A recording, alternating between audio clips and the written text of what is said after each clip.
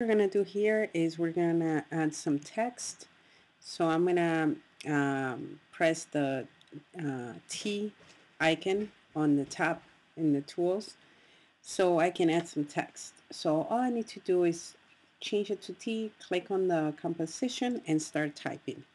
So I'm going to say um, since 2007 the iPhone.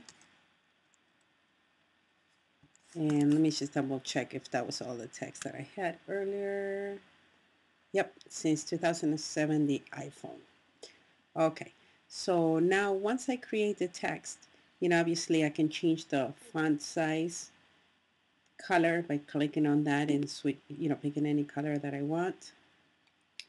Uh, I can change the text size, the leading when I have multiple lines, the kerning, which I did increase here for this text. And then I'm going to switch back to the um, selection tool so I can just kind of center this text. I'm going to move it over to a frame that's sort of empty or lighter so I can see that. Okay, and then what I want to do here is I want to have this start right about now where it starts fading out even a little more. Like right about here I'm going to start seeing the text come in. So what I can do is I can go to the left side of that timeline layer just like that and shrink it or you know make it smaller the actual length of it so it's going to start later. And then I can keep that for a little while and then it's gonna fade out again. Now in this previous you probably can see I have some transitions happening. The first one looks as if I'm typing this in with a typewriter and then the letters fade away. So what I want to do is I want to apply the effect right where the end point is. So to do so, I press the letter I and that will take me right to the end point or the first frame of that specific layer. Okay, so then I go to animation, browse presets, and then if I go under the presets and go to text, I see there's a lot of different options here that are available. I really encourage that you guys play around with them and get used to all the ones that are available. I'm going to jump right to animate in and I know that's where the typewriter is so I can see how that effect applies. So I'm going to double click on that and I'm going to do a quick save before I preview. And now when I play this, it's going to show the um, typewriting effect. I work on a, okay, I'm just gonna rewind just a few frames that are already rendered. How can you tell? Because it's green, that means that I can do a full preview now. Okay, there we go. So that's looking pretty good. So that's gonna go for a minute. Then I can kind of see that in about the seven second mark is where I'm gonna finish maybe a little sooner let's see I'm going to start playing from here just to finish rendering that section.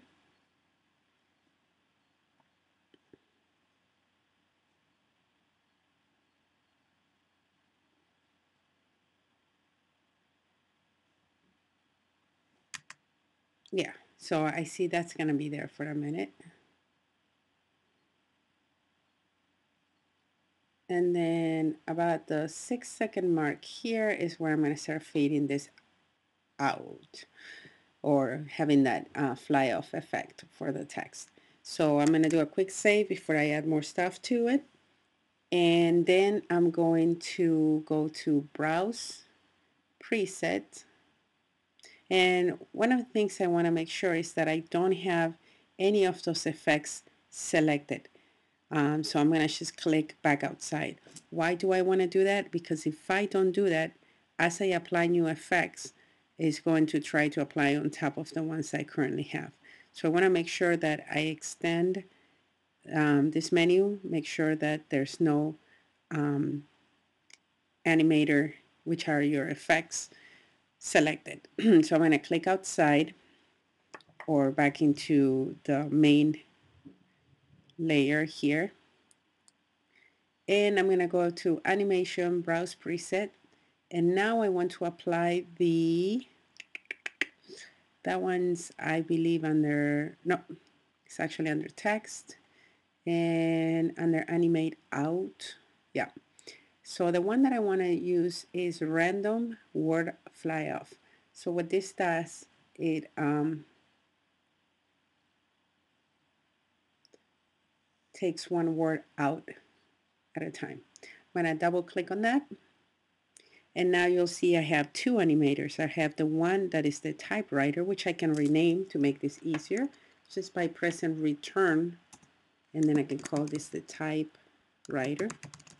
And then the second one is the fly off. So then I can see what's what here. Okay, so then I have the second word coming out, and that's about right. Okay, so now because I don't have anything else on the stage for uh, as far as text goes, I can go ahead and trim this.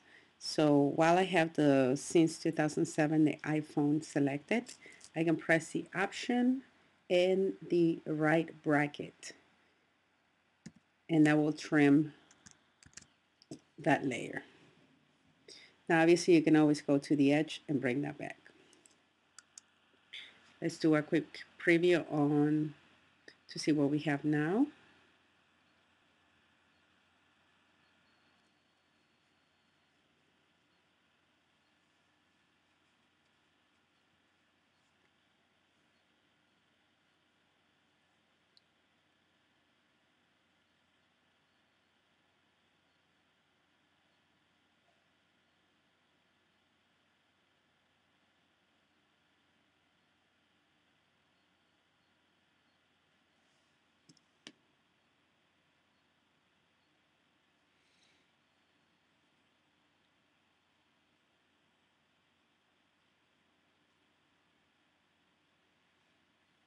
Okay. It's almost done. then it's going to stay there for about a second or so to give enough time for the reader to finish reading that sentence and then it starts fading or flying off. All right, so let's take a quick look at what we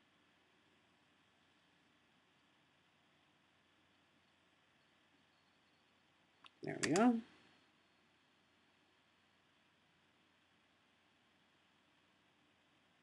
Excellent. Okay,